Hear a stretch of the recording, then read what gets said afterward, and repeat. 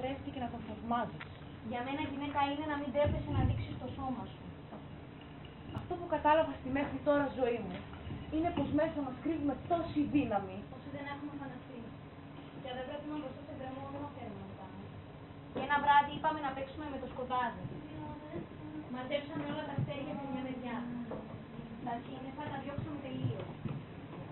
Αρχίσαμε να σχηματίσουμε λέξεις με τα αστέρια. Αγάπη, αγκαλιά, ταλπορή. Αν τις γράψουμε, θα τις νιώσουμε κιόλας. Αν μείνουν για πολύ καιρό εκεί ψηλά γραμμένες, θα τις συναντήσουμε στον δρόμο μας.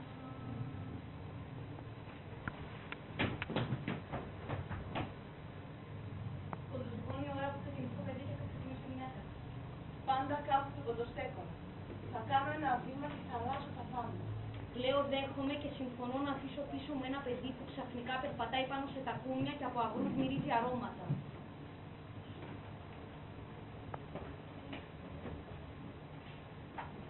Όποια από εδώ μέσα είναι γυναίκα να σηκώσει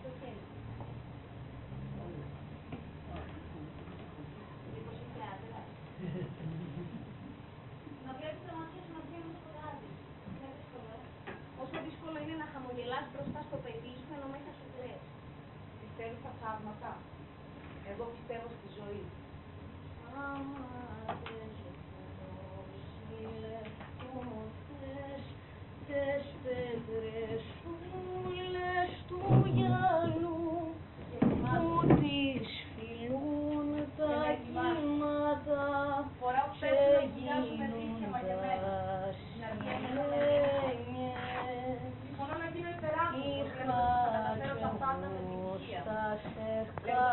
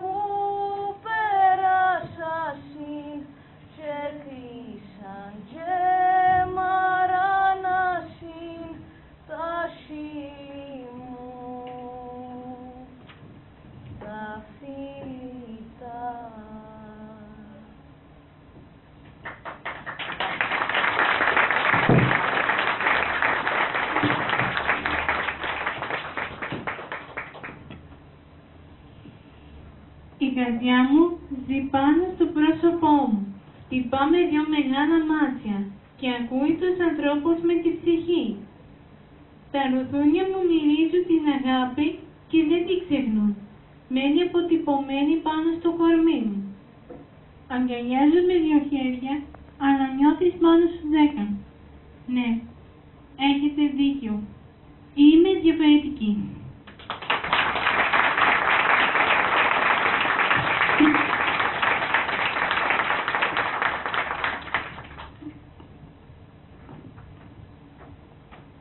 Κυρίες και κύριοι, καλησπέρα σας. Είμαι η Εύα Παυλίδου, υπεύθυνη των εκδόσεων Κροτέ και σας καλησπερίζω στην παρουσίαση του βιβλίου Η Γυναίκα του Κόσμου.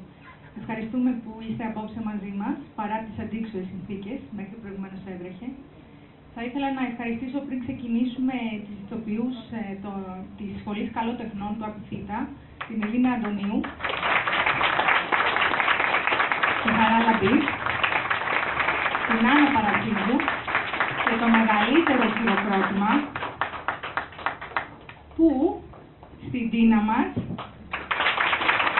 μέλος του οργανισμού Αυτισμός έξω από την μυζικότητα.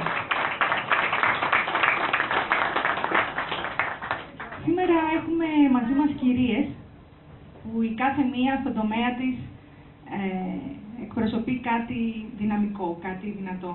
Δεν τις διαλέξαμε τυχαία. Μαζί μας έχουμε την κυρία Στήλου, δημοσιογράφος και παρουσιάστηκε στο λόγο κυρία Σοφία Παυλίδου, ηθοποιό, και την κυρία Διανέα Κουσμίνη, συγγνώμη Γήτα, δημοσιογράφη. Ευχαριστούμε πολύ που είστε μαζί μας. Εγώ δεν θέλω να σας κουράσω με πολλά. Θα σας πω μόνο ότι το βιβλίο της Νίκης Ταγκάλου και του Νίκου Νικόπουλου έχει έναν κοινωνικό σκοπό πολύ σημαντικό. Τελεί υπό την αιγίδα του Δήμου Πειραιά και μέρος των εσόδων του διατίθεται στο ξενώνα κακοποιημένων γυναικών του Δήμου Πειραιά. Οπότε, όπως καταλαβαίνετε, είναι καθήκον μας να στηρίξουμε αυτές τις γυναίκες, έστω μέσω της τέχνης. Να είστε καλά, ευχόμαστε να έχετε καλή διασκέδαση. Καλησπέρα και από μένα. Χαίρομαι πάρα πολύ που βρίσκομαι σε αυτή τη συνάντηση. Ε, δέχτηκα την πρόταση της κυρίας Παυλίδου, καταρχήν για τον τρόπο που με προσέγγισε, δεν τη γνώρισα πιο μπροστά. Ε, έχω ένα μικρό ραντάρ μέσα μου που αντιλαμβάνεται όταν κάτι έχει αξία, πώς πρέπει να το προσεγγίσω και όταν είναι αδιάφορο να απομακρυνθώ και από την πρώτη στιγμή, από την πρώτη προσέγγιση της κυρίας Παυλίδου, είπα το ναι. Για το σκοπό θα μου πείτε, πριν διαβάσω το βιβλίο. Ο σκοπός είναι ιερός. Παίρνοντας στα χέρια μου το βιβλίο, ανακάλυψα την ποίηση που μπορώ να σας πω την αλήθεια δεν την έχω πάρα πολύ μέσα μου.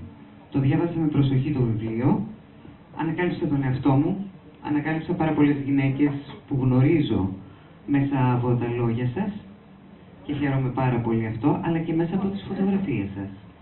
Ακόμα πιο δυνατό. Είναι ένα ισχυρό όπλο.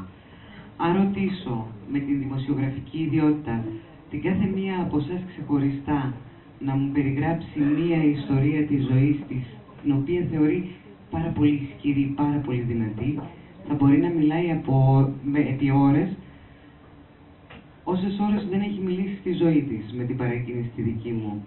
Αυτές οι ιστορίες θεωρώ ότι είναι συγκλονιστικές, είναι εξαιρετικές. Κρύβουν μέσα τους όλη τη δύναμη και όλη την ουσία που έχουμε σαν άνθρωποι. Και υπάρχουν κάποιοι ποιητές που μπορούν αυτές τις ιστορίες και τις καταγράφουν με απλές λέξεις, με λίγα λόγια. Έμεινα σε εκείνη τη φράση της θείας Σταγάλου που γράφει ότι σκύβω το κεφάλι όταν ντρέπομαι για κάποια πράγματα τα οποία δεν θυμάμαι ακριβώς την έκφραση, δεν έχω επιλέξει. Και θεωρώ ότι όλοι έχουμε βρεθεί, όλες έχουμε βρεθεί σε αυτή τη στιγμή. Αυτή είναι η ποιήση, αυτή είναι η μαγεία. Θα παρακαλούσα την κυρία Βούλα Πατουλίδου να έρθει να απευθύνει ένα χαιρετισμό, αλλά δεν γνωρίζω με ποια ιδιότητα να την παρουσιάσω. Σαν αντιπεριφερειάρχη, σαν οργανισμό τουρισμού, Θεσσαλονίκη, σαν Ολυμπιονίκη, σαν μάνα, σαν την... σαν φίλη. Ένας άνθρωπος που θα ήθελα να μπορεί να γράψει πίεση, αλλά τελικά μάλλον άλλοι το έχουν αυτό το χάρισμα. Ε, Κυρίες και κύριοι, θα μου πείτε γιατί να είμαι εδώ. Σε πόσες εκδηλώσεις μπορούμε να πηγαίνουν την ημέρα; Και πώς τις επιλέγω; Είναι καταναγκαστικές ή όχι; Ορισμένες εκδηλώσεις όμως εξαρτάται από τον τρόπο με τον οποίο σε καλούν. Όταν υπήρξε μια πρωτοσούλα που έλεγε στην πρόσκληση, που έλεγε υπεράνω των ιδεολογιών, σε καλό για τις άνθρωπος. Ε, μπορείς να πεις όχι; Δεν το λες. Ε, και επειδή ακριβώς ε, στη ζωή μου, μια και πραγματεύεται τις γυναίκες του κόσμου, γεννήθηκα ναι, σε ένα κριτικό χωριό.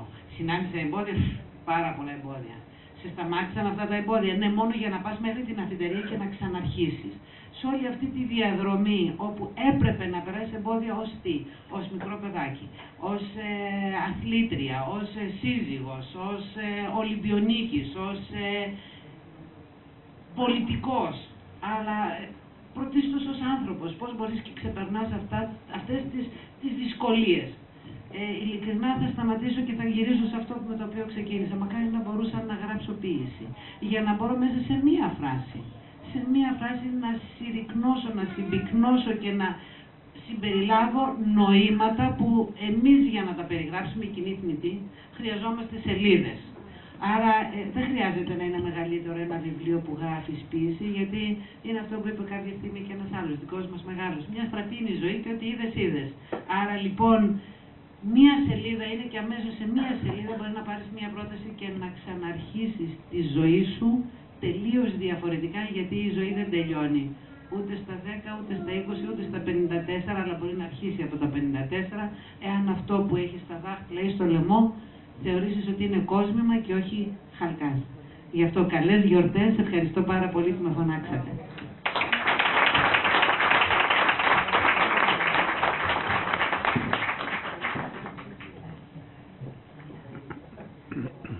Η κυρία Σοφία Παυλίδου, ηθοποιός, θα μας μεταφέρει στον κόσμο του βιβλίου με τον δικό της τρόπο, γιατί το ξέρει αυτόν τον τρόπο πάρα πολύ καλά.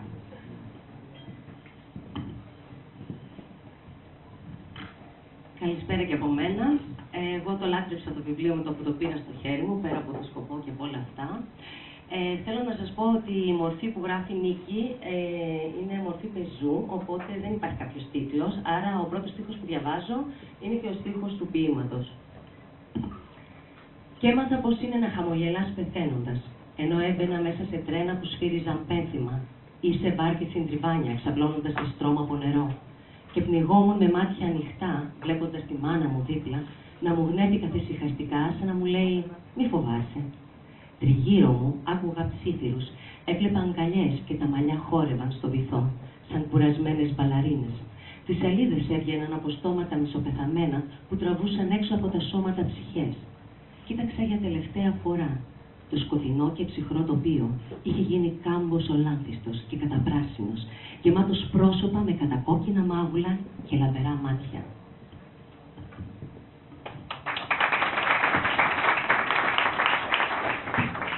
Η αγαπητή συνάδελφος που την παρακολουθώ φανατικά, η Ευγενία Αιγύτα, δημοσιογράφος στην ΕΤΡΙΑ. Καλησπέρα και από μένα.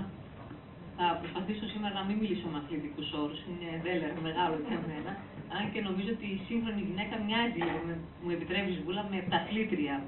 Και γιατί το λέω αυτό; Γιατί το ασθενές φύλλο, όπως οι ισχυροί άντρες άλλων κοινωνιών που προσπάθησαν και προχώρησαν τα μπέλα, αγωνίζεται και προπονείται καθημερινά σε διάφορους ε, ρόλους και μοιάζει με ταθλήτρια για ποιο λόγο; Κάνει sprint για να μπορέσει να προλάβει. Ε, διανύει αποστάσεις για να μπορέσει να αντέξει την ε, καθημερινότητα. Ρήψεις για να αποβάλει κάθε τι που βαραίνει και το περιβάλλον της και την οικογένειά της και τον εαυτό της πάνω απ' όλα. Κάνει και άλματα, φέρνει αέρα ανανέωση, ε, αναγέννησης μέσα στην οικογένεια και προσπαθεί όλους ε, να τους έχει υπό την σκέψη της και τις φίλες της και τον σύντροφό της και τα παιδιά της και στην εργασία ακόμα θα πρέπει να είναι εκεί, συνεπή. Και φυσικά κάνει και εμπόδια, γιατί το έταυλο έχει και εμπόδια και πρέπει αυτά, για αυτή να μην είναι ανυπέρβλητα. Πάνω όμως τώρα δεν περιγράφω άλλο με αθλητικούς όρους, να μιλήσουμε για την γυναίκα του κόσμου. Η γυναίκα του κόσμου είναι μία από εμάς, θεωρώ. Είναι η γυναίκα της διπλανής πόρτας, που ποτέ ενδεχομένως δεν θελήσαμε να τη δούμε είτε θελημένα είτε άθελά μας. Ε, γιατί η ζωή τρέχει σαν το νερό, κιλά, και όλοι χανόμαστε στα δικά μας τέλο, στα δικά μας πιστεύω, και κανείς δεν ε, ρίχνει μια κλεφτή έστω ματιά, ένα ενδιαφέρον να δει τι κάνει αυτή η γυναίκα στην καθημερινότητά της. Να την προσεγγίσει, να την μιλήσει. Η βραβευμένη λοιπόν Νίκη Ταγκάλου και εμπνευσμένος μα φωτογράφος ο Νίκος Νικολόπουλος πιστεύω με το ε, πάντρεμα, το δύο, και έχουν έναν εχμηρό τρόπο, αναδεικνύουν όλα αυτά τα προβλήματα, όλη αυτή την εκμετάλλευση, τη βία που βιώνει η γυναίκα, είτε είναι ελεκτική, είτε είναι οικονομική εξουσία, είτε είναι ρατσιστική, είτε είναι σεξουαλική, όπως θέλετε ονομάστε την, αλλά στην καθημερινότητά της κάτι βιώνει. Το αναδεικνύουν και το φέρνουν στην επιφάνεια με έναν πολύ ωραίο και αιχμηρό τρόπο και σε προβληματίζει αυτό το πράγμα. Ε, και αναδεικνύει παράλληλα το γεγονός ότι έχει πολλούς ρόλους και αυτή είναι μονάχα μία. Εγώ κρατάω αυτό το στίχο και νομίζω, Σοφία, θέλω να μας ξαναμεταφέρεις και να μας ξανα... ε, να κάνουμε μια βουτιά σε αυτά τα άδεια της γυναικείας ψυχής. Νομίζω ότι σε αυτό το στίχο αναφερόσουν που λέει ότι από όλους και από όλα η πιο ενοχή μου σκέψη ήταν να σκύβω το κεφάλι. Το σώμα δεν με ένοιαζε, το κεφάλι όμως ήταν πολύ βαρύ. Αυτός συνεπαγόταν με το να μην ακούω και να μην μιλάω. Προτιμούσα να σκύβει η γλώσσα τους. Αυτό το πανούργο κοράκι που έκοβε κομμάτια ανθρώπινα και τα σκορχούσε δεξιά και αριστερά. Έχω διανύσει μεγάλο μέρος της ζωής μου και έξω από την πόρτα μου κοιμούνται πολλά από αυτά μαύρα, άσχημα και άψυχα. Σε κάθε επίθεση έκλεινα την πόρτα και αυτομάτως σήκωνα το κεφάλι μου λίγο ακόμα. Τέντωνα το στέρνο μου περισσότερο. Αυτομάτως γινόμουν λίγο πιο άνθρωπος. Λίγο περισσότερο γυναίκα. Λίγο παραπάνω μάνα. Αυτομάτως Ένιωθα πως μπορώ να καταφέρω τα πάντα και έχτιζα ένα γαλήνιο σπίτι μέσα σε μια τερατώδη πόλη.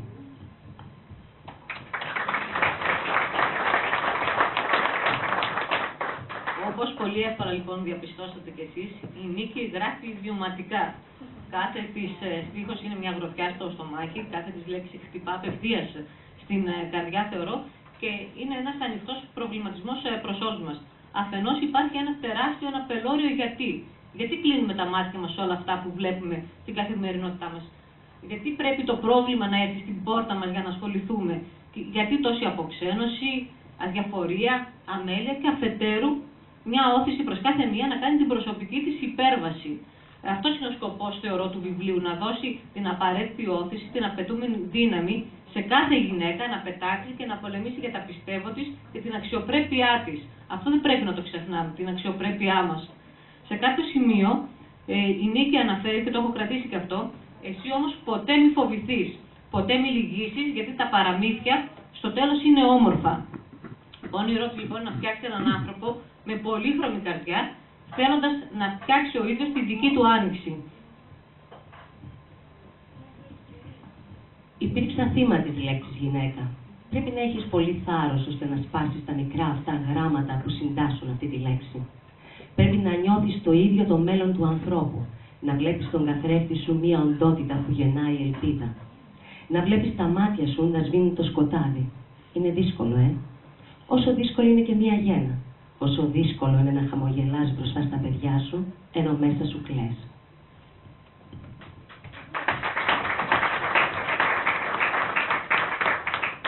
Πιστεύω ακράδαντα πως κάθε γυναίκα δεν υπάρχει περίοδος της ζωής της που να μην αισθάνθηκε έστω μια φορά ότι ένα δίχτυ έχει μπλεκτεί γύρω από το λαιμό της. Και αν ο Γκάτσος, ε, με συγχωρείτε τον δανειστό, είχε παροτρύνει ε, μονάχος βρε στην άκρη της κλωστής και αν είσαι δυνατός ξεκίνα πάλι, η Νίκη ε, μας δίνει άλλου είδους λύσεις που πιστεύω ότι πρέπει και να το ξεφυλίσετε και να το διαβάσετε και θα βρείτε τη δική σας άκρη ε, στο πρόβλημα που αναδεικνύει της εκμετάλλευσης, της βίας, της απόγνωσης, ε, μέχρι η γυναίκα να φτάσει στη σωτηρία της δικής της ψυχής. Και εκεί η απαραίτητη συμμετοχή όλων μας. Πρέπει να σταματήσουμε να διαφορούμε, πρέπει να σταματήσουμε να είμαστε θεατές, ιδάλλως με τη σιωπή μας γινόμαστε συνένοχοι. Και εδώ πρέπει ε, να μπει ένα τέλος και μια παύλα σε αυτό το πρόβλημα, στην εκμετάλλευση των γυναικών, κάθε είδους εκμετάλλευση. Εγώ θα σταθώ και σε ένα άλλο κομμάτι, σε μια άλλη σχέση που αναδεικνύεις μέσα από το βιβλίο σου, στη σχέση της μάνας με το παιδί ε, και κράτησα και από εδώ πέρα έναν στίχο, η ανιδιοτελής αγάπη, βουβά πράτη, βουβά φυλάει. Όλος ο κόσμος του παιδιού είναι η μάνα. Όλη η περιουσία της μάνας είναι το παιδί. Ε, νομίζω τα περιγράφει όλα μέσα σε τέσσερις ε, στίχους. Ε, εγώ θα την παρουσίαζα τη μάνα, είναι εδώ τη δικιά μου, σαν βάρο, ε, γιατί πάντα λάμπει σε μια ανοιχτή θάλασσα και ξέρω ότι ποτέ θα με βρουν τα βράχια, γιατί θα είμαι εκεί. Λοιπόν, θεωρώ λοιπόν, επειδή βάζει και σε διαβούλευση και ένα άλλο θέμα, ποιο είναι το θαύμα της ζωής, τελικά η ίδια η ζωή είναι το θαύμα. Αυτή είναι η απάντηση. Και σε αυτό θα πρέπει να το κυνηγάμε καθημερινά, με τις πράξεις μας, με τα θέλω μας, με τα πιστεύω μας. Πρέπει να ζήσουμε, γιατί κάθε ασερτίδα να θυμάστε ότι είναι και μια δική μας στιγμή και είναι καθαρά δική μας.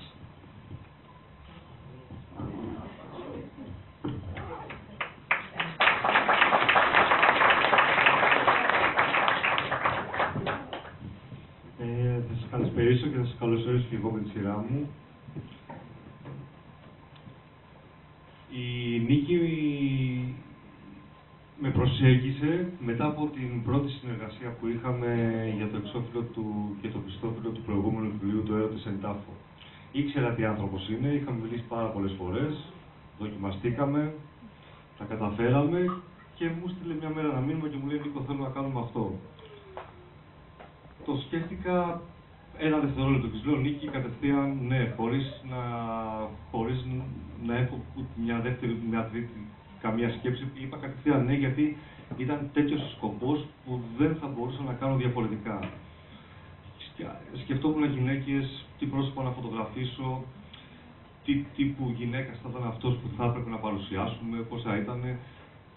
Και κατέληξε σε ένα πράγμα ότι θα φωτογραφίσω απλά τη γυναίκα. Γιατί αυτό, αυτό είναι, είναι τα πάντα. Είναι, είναι σεβασμός, είναι η μητέρα, είναι η αδελφή, είναι η φίλη. Δεν μπορώ να πω στη θέση της γυναίκας, αλλά μπορώ να μιλήσω για τις γυναίκες όπως έχω ζήσει εγώ. Και είναι κάτι το οποίο αξίζει μόνο σεβασμό. Οπότε ξεκίνησα να φωτογραφίζω βλέποντας απέναντί μου ανθρώπους, γυναίκες οι οποίες ανεξαρτήτου ηλικίας, ανεξαρτήτου κατάστασης οικονομικής, από προσφυγόπουλο μέχρι μια ηλικιωμένη που συνάντησα σε έναν δρόμο, το μόνο που μου έβγαζε ήταν σεβασμός και σκέφτηκα γιατί να μην είναι έτσι. Μέσα από τις εικόνες και μέσα από τις λέξεις της νίκης έτσι πρέπει να είναι. Έτσι πρέπει να το μεταφέρουμε. Η Νίκη έβαλε τους υπότιτλους σε αυτό που είχα στο, στο μυαλό μου. Και εγώ οπτικοποίησα αυτό που υπήρχε στο μυαλό της Νίκης.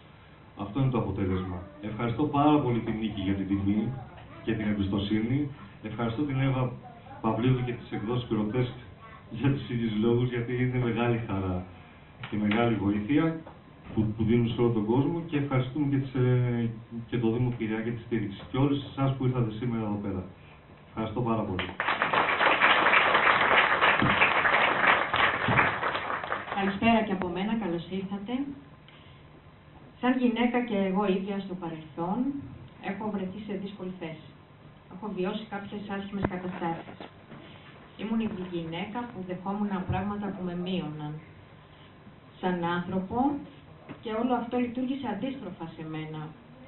Όσο δεν μίλαγα θέργευα, όσο δεν αντιδρούσα, ένιωθα να δυναμώνω. Άρχισα να νιώθω από μυρμήγκη λιοντάρι, μέχρι που ξαφνικά άρχισα να ψηλώνω ολοένα και περισσότερο. Και κάποια στιγμή έκανα την επανάστασή μου. Από τότε έχω κάνει πολλές βέβαια. Για μένα εκείνη τη στιγμή εκείνη την εποχή έγινε η ποίηση το καταφύγιο που φθονούμε που έγραψε και ο Καρδιωτάκης. Έγινε το δικό μου καταφύγιο και η δική μου έξοδος κινδύνου. Σχεδόν τη μισή μου ζωή πίστευα ότι οι άνθρωποι δεν αλλάζουν. Αναθεώρησα.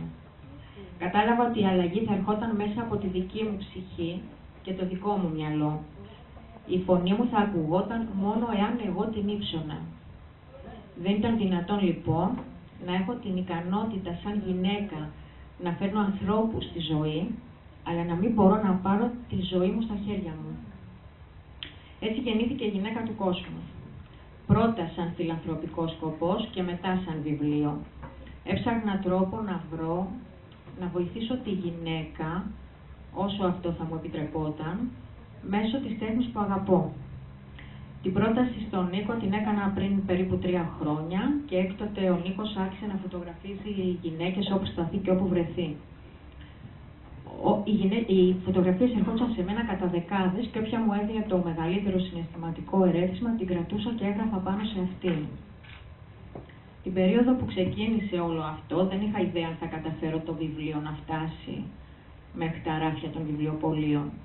Όταν μιλάμε για ένα βιβλίο φιλανθρωπικού χαρακτήρως, δυστυχώς όλες οι εκδοτικές πόρτες δεν ανοίγουν.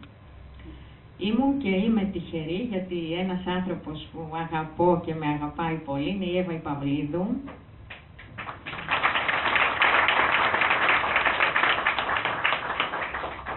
Η ίδια συγγραφέα ποιήτρια, υπεύθυνη των εκδόσεων Grotesque, αλλά και πρόεδρος του μη κερδοσκοπικού σωματείου το ράφι της αγάπης, στον Πειραιά εξήγησα τι εστί ράφη της αγάπης. Εδώ δεν θα τολμήσω να το κάνω, το ξέρουν όλοι. Η Εύα λοιπόν γνώριζε πάρα πολύ καλά τι σημαίνει φιλανθρωπικό έργο και ποιος ο κύκλος ενεργειών και προώθησης γύρω από αυτό. Ο αρχικός σκοπός λοιπόν της εκδόσεως επετεύχθη χάρη στις εκδόσεις γκροτές του ομίλου Ελκυστής και ευχαριστώ θερμά τον εκδότη Αρχιλία Τριαντόγλου και την Εύα Παυλίδου. Ε, κάτι που θέλω να αναφέρω είναι ότι πριν λίγο καιρό δεχτήκαμε μία δωρεά από ένα γνωστό επιχειρηματία της Ελλάδος, ο οποίος θέλει να παραμείνει ανώνυμος. Ε, τα λεφτά πήγανε στον Ξενώνα, ε, πριν λίγες μέρες μας έστειλε ο Ξενώνας επιστολή και κάποιες φωτογραφίες με τα είδη που αγοράστηκαν για τον Ξενώνα. Βλέποντας λοιπόν αυτές τις φωτογραφίες που μου στείλανε, θέλω να σας πω ότι ύστερα από αρκετά βιβλία και ακόμα περισσότερες διακρίσεις, πρώτη φορά ένιωσα ότι είχα κάνει κάτι σημαντικό στη ζωή μου. Και γι' αυτό ζητώ τη βοήθεια όλων σε αυτό το εγχείρημα, γιατί εδώ δεν μιλάμε για μία έκδοση, για ένα βιβλίο που θέλουμε να προωθήσουμε τον συγγραφέα ή τον φωτογράφο. Θέλουμε να βοηθήσουμε μέσω αυτού του έργου. Ευχαριστώ λοιπόν τον συνοδοιπόρο μου τον Νίκο Νικόπουλο για όλη αυτή τη συνεργασία, την άριστη συνεργασία. Ευχαριστώ όλες τις γυναίκες που βρίσκονται φωτογραφημένες μέσα στο βιβλίο, πολύ σημαντικές εξίσου. Ευχαριστώ τον Δήμο Πειραιά. Το βιβλίο τελεί υπό την αιγίδα του Δήμου Πειραιά και τα έσοδα πάνε στον ξενών αφιλοξενίας κακοποιημένων γυναικών του Δήμου. Ευχαριστώ τις υπέροχες γυναίκες που έχω απόψε δίπλα μου εδώ, που με βοηθούν σε όλο αυτό, την κυρία Πατουλίδου. Ευχαριστώ τη Σύμβουλο Επικοινωνίας Ειρήνη Κάτρη, η οποία έχει βοηθήσει πάρα πολύ από την αρχή του έργου, τις υπέροχες ηθοποιούς μας. Ευχαριστώ την Ομπρέλα για τη φιλοξενία. Κλείνοντας, θέλω να ευχαριστήσω όλους εσάς που είστε απόψε εδώ. Νιώθω μεγάλη τιμή και ιδιαίτερη για όλο αυτό που γίνεται, αλλά επειδή δεν μου αρέσουν πολύ οι τυπικές λέξεις, θα σας πω ότι νιώθω μεγάλη ευτυχία και εύχομαι μέσω αυτού του έργου να μπορέσω να προσφέρω αυτή την ευτυχία και σε άλλες γυναίκες.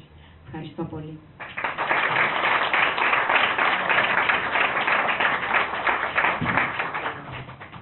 Θα κάνω κάτι ρισκάροντας το κεφάλι μου. Έχουμε την κυρία Στήλου. Οι Θεσσαλονικείς ξέρουμε τι σημαίνει κυρία Στήλου για εμάς. Σημαίνει η πιο χαρακτηριστική και ερωτική φωνή της πόλης μας. Διαφωνεί κανείς; Κυρία Στήλου, συγγνώμη. Θα ήθελα λοιπόν ένα από τα ποίηματα που λατρεύω και που κάθε φορά που το διαβάσω εγώ κλαίω. Εντάξει, εγώ κλαίω εύκολα, είναι γνωστό. Αλλά είμαι σίγουρη ότι θα συγκινηθεί ο κόσμος και θα ήθελα να μας το διαβάσετε.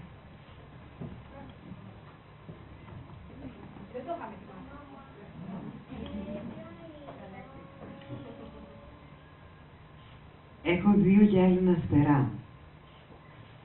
Μου τα σπάνε λίγο-λίγο για να μην μπορώ να πετάξω. Έψαχνα λοιπόν πολύ καιρό να βρω έναν τεχνίτη να τα επισκευάσει. Τον βρήκα. Κατοικεί μέσα στην ψυχή μου.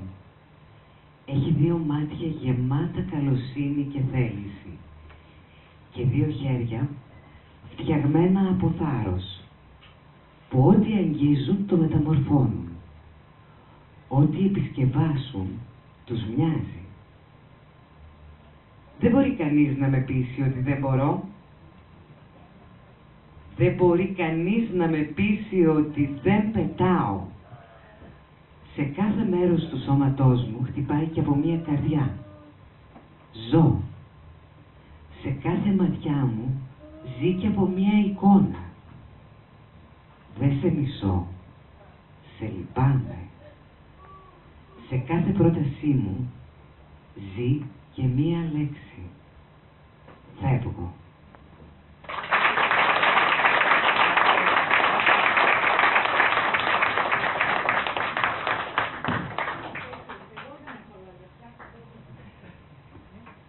Από τους ανθρώπους, ο οποίος έχει να κάνει με πάρα πολλούς άλλους ανθρώπους και έχουν δει πολλά τα μάτια μας, όπως και της κυρίας Γήτα, μια και είμαστε σε έναν χώρο επαγγελματικό που βλέπουν πάρα πολλά τα μάτια μας. Δεν ξέρω αν τυχαίνει σε σένα ευγενία. Πάρα πολλές φορές εγώ απογοητεύομαι. Λέω δεν υπάρχει καμία ελπίδα. Δεν υπάρχει αύριο, ε, τελειώσαμε. Και να σας φέρω και πρόσφατο παράδειγμα, καθώς άκουγα να μιλάει η κυρία Ταγκάνου, θυμήθηκα την περίπτωση πριν από μια εβδομάδα στα Γρεβενά για το κοριτσάκι το οποίο ε, κακοποιούνταν από τον σύντροφο της μητέρας του. Παρατήρησα σε ένα ρεπορτάζ τη δικηγόρο υπεράσπισης να λέει εντάξει είχε κλείσει τα 12 χρόνια. Εκεί, σε αυτή τη φράση εγώ δεν σκάτα ελπίδα. Λέω ότι αν ένας άνθρωπος, πρώτον, μία γυναίκα, δεύτερον, μία επιστήμον, χρησιμοποιεί αυτό το λόγο δεν έχουμε καμία ελπίδα. Και χάνεις την ελπίδα και λες, Εντάξει, δεν μπορώ να το παλεύω, δεν συνεχίζω να το παλεύω. Έρχεται όμως από την άλλη πλευρά μια κυρία Ταγκάλου, μια άλλη γυναίκα, ένας άλλος άνδρας που κάνει τέτοιες προσπάθειες για να βοηθήσει, να βελτιώσει αυτό που γκρεμίζουν άλλοι.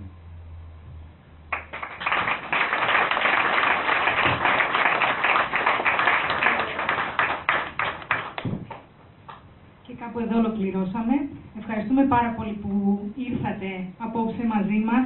Είναι πολύ σημαντική η παρουσία σας για εμάς. Η Νίκη Ταγκάλου και ο Νίκος Νικόπουλος έρχονται από Αθήνα και Πειραιά, οπότε καταλαβαίνετε πόσο σημαντική ήταν η παρουσία σας. Ε, θα ξαναπώ ότι το βιβλίο αυτό, όπως είπε σωστά και η Νίκη, δεν ε, έχει καθόλου ε, διαφημιστικό χαρακτήρα. Είναι καθαρά κοινωνικό και γι' αυτό θα οφείλουμε όλοι να στηρίξουμε όλη αυτή την προσπάθεια. Ε, εύχομαι καλές γιορτές, να είστε γεροί και να μιλάτε οι γυναίκες. Μην το ξεχνάτε, αυτό είναι η δύναμή σας.